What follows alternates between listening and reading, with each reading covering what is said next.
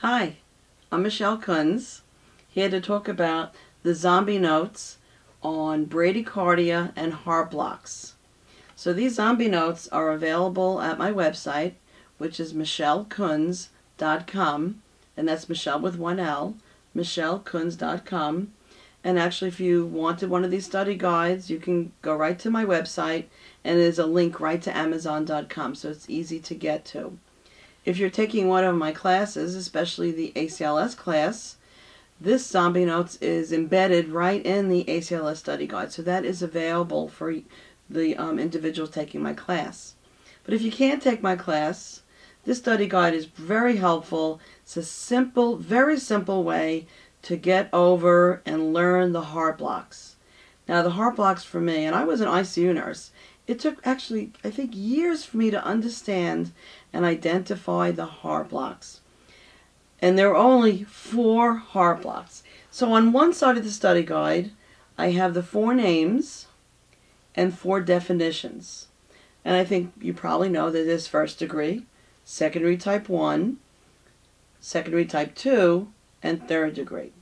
So on the first side of this is the names and a little brief explanation of what the heart block would look like based on the relationship of the P wave and the QRSs.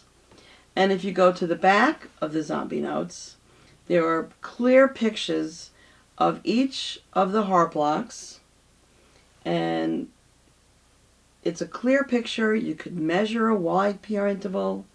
You could see that the PR interval gets longer, longer, longer, drop. You could see in second degree type 2 that every time there's a QRS, it's married to a P wave. And you could also see in the last picture in third degree heart block that there's no relationship or no consistent relationship between the P's and the QRS waves. So that's what's explained on the front of the zombie notes. And you could see that in the pictures on the back. So very simple way to understand the four heart blocks.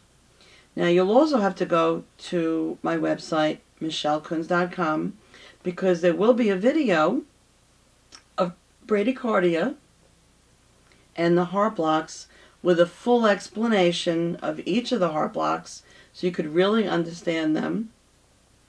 There will also be a zombie note types of video about how we treat the heart blocks and bradycardia. So if you have any questions about this, you could probably find more information at my website, michelekunz.com.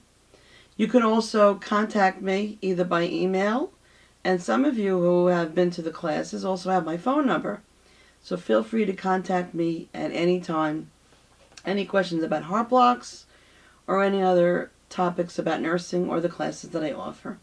So thank you for your time, and I hope I hear from you soon.